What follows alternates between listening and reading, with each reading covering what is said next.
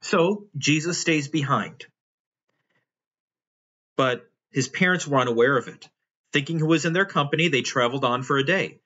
Then they began looking for him among their relatives and friends. When they didn't find him, they went back to Jerusalem to look for him. After three days, they found him.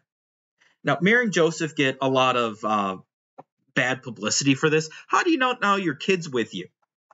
But they were traveling with a large group. That's how they usually traveled back in those days. And when you're in a large group, it's easy to lose track of your kids, especially if they're walking with their friends. Think of the movie Home Alone. The parents didn't know Kevin was gone because they counted all the kids and that was all okay, we're all good. And on top of that, Jesus had always been obedient to them. They didn't expect him to stay behind. They're like, well, Jesus knows we're leaving and okay, we're going.